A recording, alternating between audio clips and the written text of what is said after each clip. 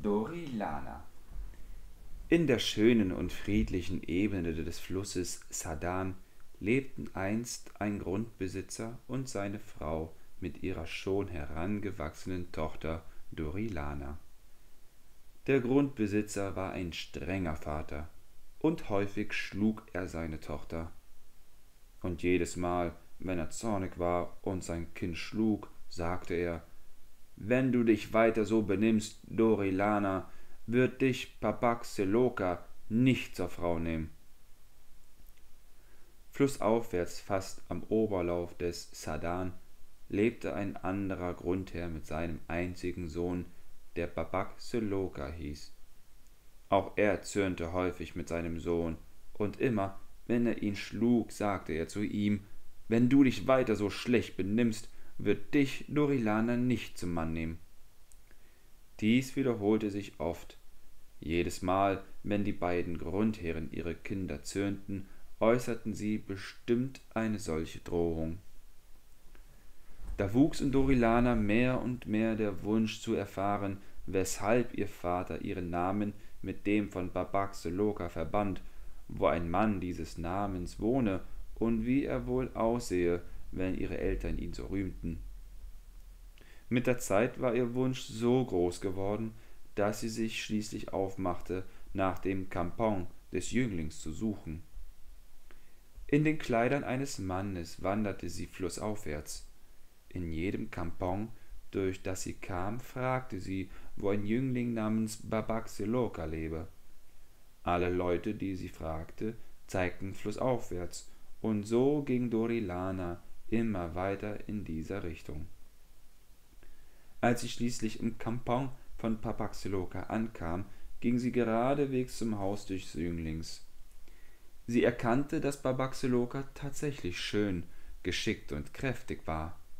Dorilana entbrannte in Liebe zu ihm, und sie suchte nach einer List, wie sie ihn zum Mann bekommen könnte. Zu dieser Zeit wollte Babaxelokas Eltern ein neues Haus bauen. Da ging Dorilana zu ihm hin und erklärte, sie sei Zimmermann und könne Häuser bauen. Babaxelokas Eltern freuten sich und baten Dorilana, ihr Haus zu errichten. Dorilana ging in den Wald, und, wie man erzählt, brauchte sie sich beim Bauen nicht anzustrengen. Sie nannte nur das, was sie wünschte, und im Nu war alles verrichtet. Wenn sie sagte Hauspfosten, stell dich auf, stand der Hauspfosten in einem Augenblick da. In wenigen Minuten war das Haus fertig, ausgerüstet mit allen notwendigen Gerätschaften. Jetzt bat Dorilana die Götter, das Haus aus dem Wald vor das schon recht baufällige Haus von Babaxelokas Eltern zu bringen. Die waren sehr erstaunt über das Wunder, das Dorilana vollbracht hatte. Nachdem das Haus mit einem Fest eingeweiht und viele Büffel und Schweine den Göttern zum Opfer geschlachtet worden waren, kam die Zeit, den Zimmermann Lohn zu holen. Zuerst boten Babaxelokas Eltern Reis, doch Dorilana wehrte ab. Auf ihrem Sawa stehe genug Reis. Als die Eltern mit Büffeln bezahlen wollten, erklärte Dorilana, in ihrem Pferch stünden schon viele Büffel. Als sie mit Silber bezahlen wollten, meinte Dorilana, sie brauche kein Silber. Zu Hause habe sie genug davon. Schließlich fragten Papaxelokas Eltern, ob sie mit Gold entlohnen dürften.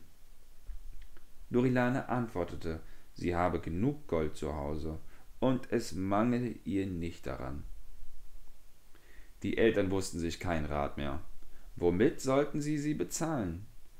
Währenddessen war Dorilana für eine Weile in das Haus gegangen und kam jetzt in Frauenkleidung wieder heraus. Sie war hübsch und anziehend vom Aussehen. Dorilana nannte Babaxelokas Eltern ihren Namen und verlangte Babaxeloka zum Lohn. Denn sie kenne seinen Namen schon lange und liebe ihn.